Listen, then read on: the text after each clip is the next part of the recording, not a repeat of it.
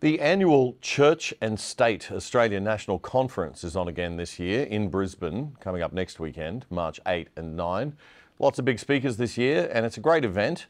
A lot of it will be available to watch right here on ADH TV. But there's nothing quite like being there. Host of the Church and State show here on ADH TV and organiser of the conference is Dave Pellowe. Dave joins me now. Hi, Dave. Good to see you.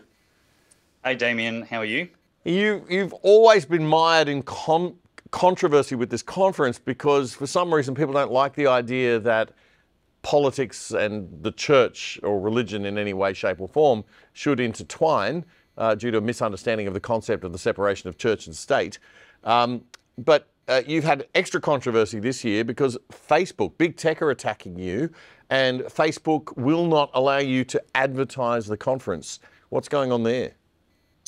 Well, if you advertise uh, photos of violence or blood and gore, war casualty scenes uh, from Pallywood or the Hamas Ministry of Health, there's no problem. If you post pictures that are evocative and uh, designed to, you know, invoke sympathy for casualties of war in Ukraine, there's no problem there. But if you show proof of the atrocities and barbarism that happened when Gazan residents and militants invaded Israel on October 7th, that's when you cross the line, and that's against community standards, perhaps a little bit too much ah. truth. Ah.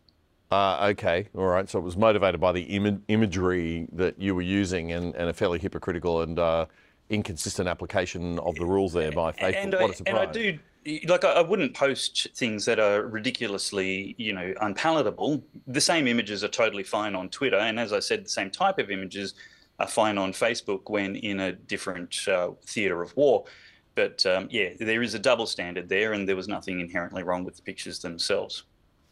Dave, um, let's get on to. I mean, given the fact that you aren't able to advertise, we should give the, the give the, uh, the, the church and state conference a bit of a push, uh, and, and, we should ask everybody out there to, to please amplify and let people know uh, that it's on and it's happening.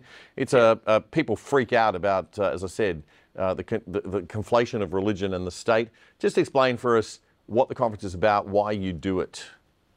Well, look, uh, if there's one constituency that, especially in Australia, is especially asleep and inactive and uninterested and, and perhaps self censoring, it is Christendom. If you're an environmentalist, um, you've got no problem or, or diswelcome from being included in the public square. If you're a trade unionist, you're welcome in the public square.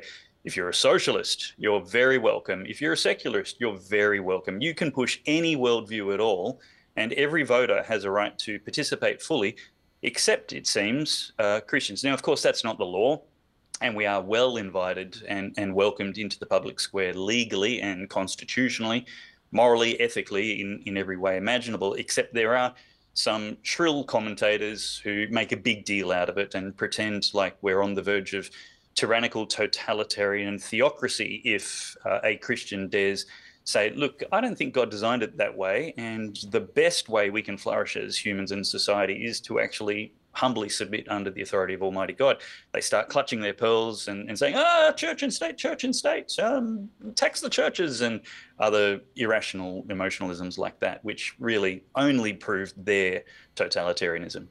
Who have you got speaking uh, this year? Well, uh, more than I can remember, there's 30 different speakers involved. Reverend Calvin Robinson is one of the most cancelled and controversial speakers, um, appearing live via uh, video, um, taking questions from London. Uh, we've also got Avi Yemini, um, Senator Ralph Babet, um, we've got Stephen Chavura, um, Cindy McGarvie, Kevin Donnelly, um, one of oh, yes, one Professor of Australia's Donnelly. most uh, prolific yeah, public intellectuals. Thirty odd speakers over twenty four different segments. I do love the conference because it's great. You get so many great people from all over Australia together. It's really terrific uh, every year to have a chat. And I don't agree with everything that's said, but uh, that's what it's all about. It's about having the conversation. And I don't 100%. think we can keep our spirituality and our religion out of our politics or our culture. It's part of the culture. So obviously Correct. it's going to influence uh, these debates and these uh, discussions. And God knows we need a little bit more, uh, I guess, spirituality and religion uh, in our public discourse because we've probably truly swung too far the other way. Uh, Yes. The website is Church and State, just spelt out, Church and State, A N D, state.com.au. Uh, people can get on there, and you've got a 20% special discount code uh, that people can put in when they buy tickets, Dave, for viewers of ADH, viewers of the other side. You can type in other 20 or ADH 20, uh, and you can get yourself 20% off the, uh, the ticket prices for the event uh, in Brisbane this weekend. The Church and State show on ADH TV too, mate. Tell us a little bit about your show and when it's on and available. Right. So uh, the Church and State show is basically a continuing conversation of the conference where I will interview various guests, and uh, they won't always be theological or Christian. Uh, essentially, it's the paradigm I'm coming from is of Christian.